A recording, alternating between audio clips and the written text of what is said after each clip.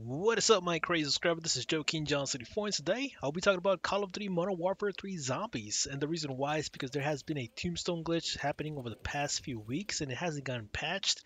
Uh, there's always way around it, by the way. If you guys want to search up that type of stuff over there here in YouTube, you guys can.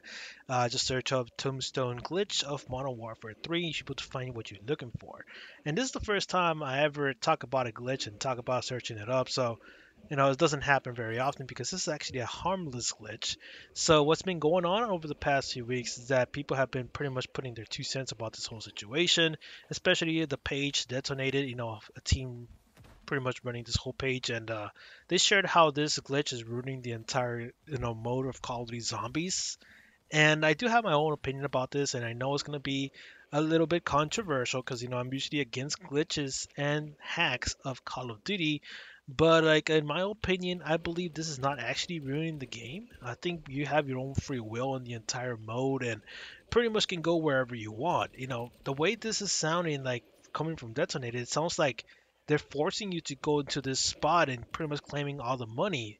So um, it's not like Call of Duty is like Grand Theft Auto 5 or anything, you know. It's really not, you know, because in Grand Theft Auto 5, if I remember correctly, back when I was playing the PS3 days, um, I know they used to teleport you to them, to the glitcher or to the hacker, and drop you all the money, and you'll be able to have like around 999 million dollars in your account. Now that's a big difference compared to what the, whatever this guy is trying to do in this video, where he's just dropping a bunch of money.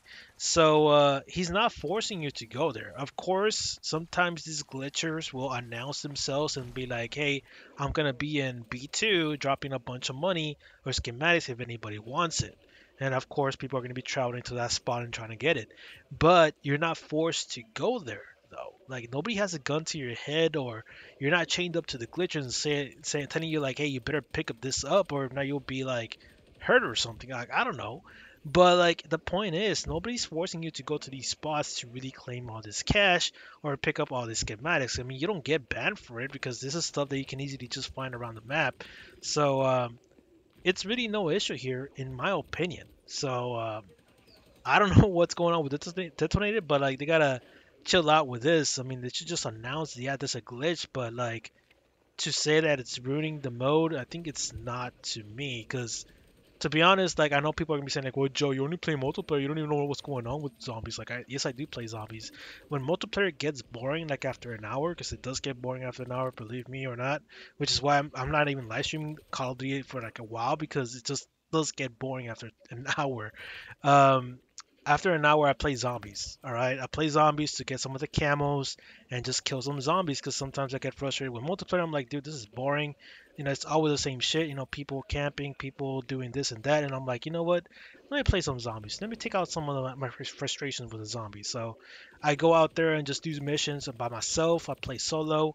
Um, I mean, sometimes I fill up the team, but the teammates are just doing whatever they want. You know, they just don't do anything together. So I'm like, you know what? I'll just play solo. So I just do some of the missions and that's it.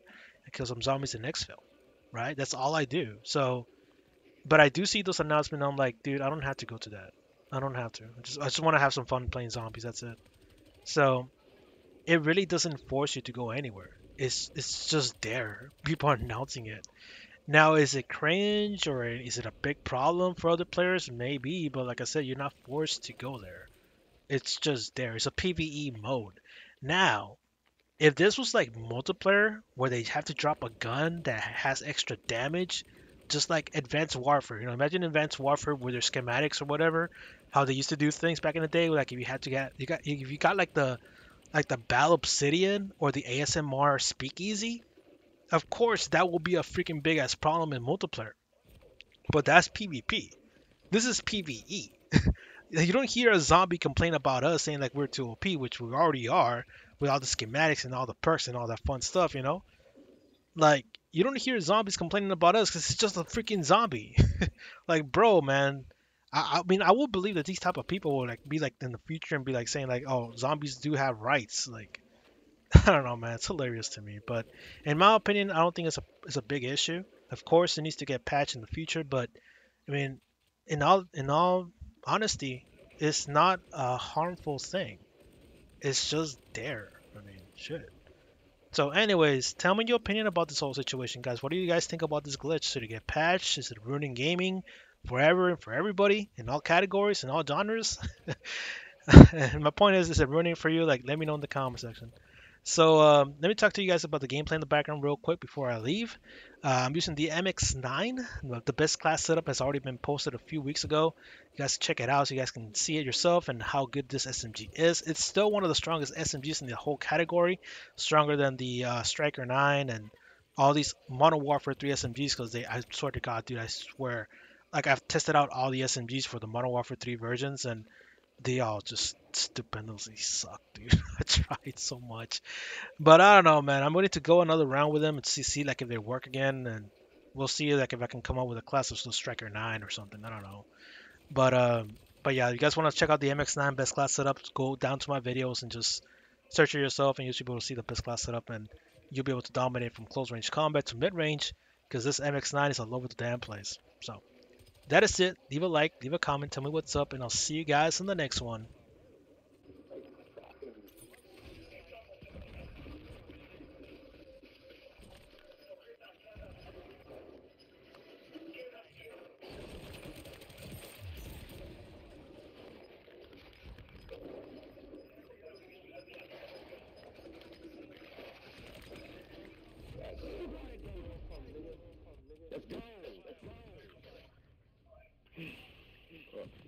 All them guns and ain't nobody dead yet.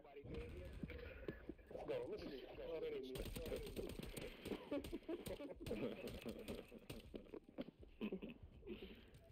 me. Hey, Joe, Joe did his thing though. Hmm. Yeah, but you need to get traded. 64 kills.